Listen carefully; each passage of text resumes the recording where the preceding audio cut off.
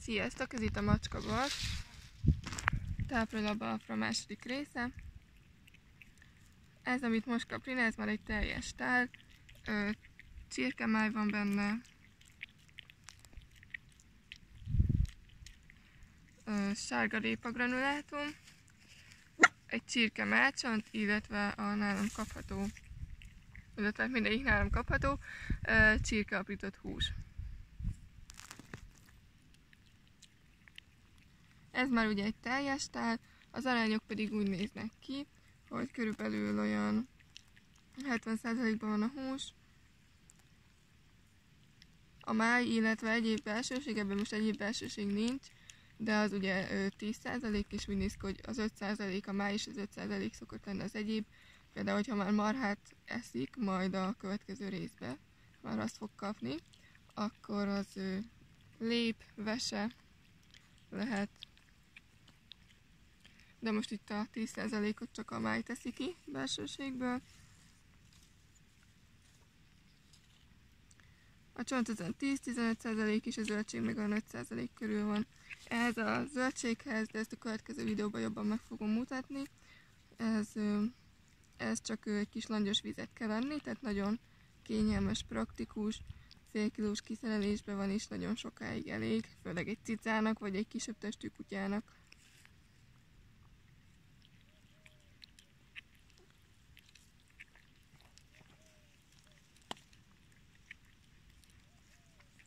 Amíg ő eszik, addig elmondom azt, amit az előző videóban nem mondtam el, és probléma lehet az átállásnál, a válogatóság mellett, az pedig a, az esetleg előforduló hányás. Van a savas hányás, ez a fehér sárgás színű, ez a habos. Ez általában, ez tipikusan átállásnál fordul elő, legfőbb oka pedig a gyomorsabb gyengesége.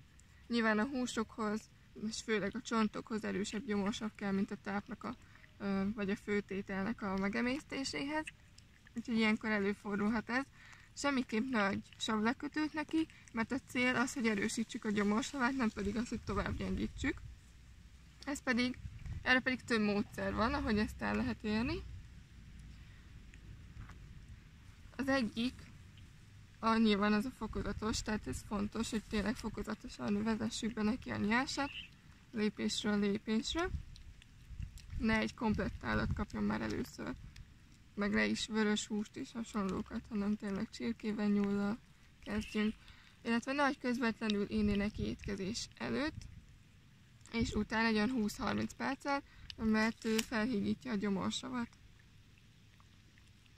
Egy icike-picike sózás is segíthet, de tényleg csak egy leheletnyi.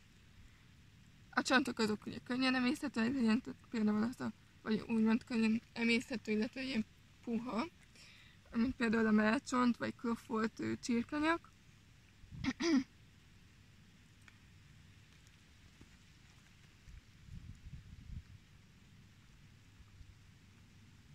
Érdekes, Rina mindig a hússal kezd, zsebi, a kutyusom, az viszont mindig a csontosat veszik ki először, és csak utána jön a többi dolog.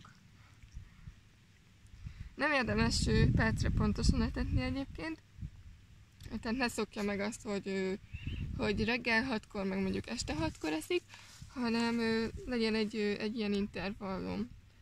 Tehát egy ilyen egy órás, körülbelül egy másfél órás intervallum, mert hogyha rááll a belső órája arra, hogy, hogy mindig egy adott fix időpontba kapja a kaját, akkor, akkor ezt ő így érzékeli magába, és elkezdi termelni az emésztéshez szükséges epét, és hogyha véletlenül nem érkezik meg az étel a szokott időpontba, és nincs mit lebontani, akkor ezt kihányja. Illetve amit, amit jó, hogyha kap, az a probiotikum, ami, ami nálam a petflóra, illetve kaphat esetleg csontkocsonyát is. Ugye ez az ízletekre is jó hatással van, fel nagy testű kutyáknál például, vagy a nagy testű cicafajtáknál, Maine Coon, bengál ilyeneknél. De emellett a glicin hozzájárul a gyomorsabb termeléshez, illetve az epes savak összetevőiként. Na, ennyi volt. A sírok emésztéséhez is. Nem a tied. Nem. Az előzőt is el akart lopni.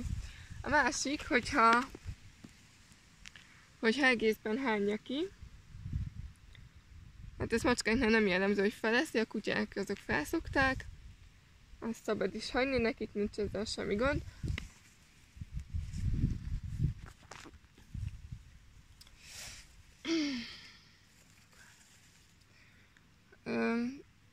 Órákkal később köszön vissza, akkor annak az oka általában az, hogy túl erős volt az étel, tehát még nincs itt az ideje, és akkor vissza kell váltani egyel.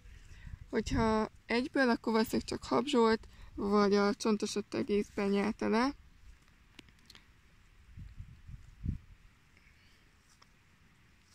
A szebbik felét mutatja. Akit esetleg érdekelne a cica, azért van pórázon, mert nincsen még kerítés, és így ki tud jönni anélkül, hogy neki támadna az idegen cicáknak, mert azokat annyira nem szereti. Úgyhogy ez egy 5 méteres flexipórát, ezen szokott kint lenni most egyenlőre.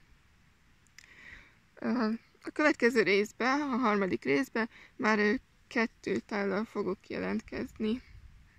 Addig is, ha van kérdésetek, nyugodtan keressetek meg. Sziasztok!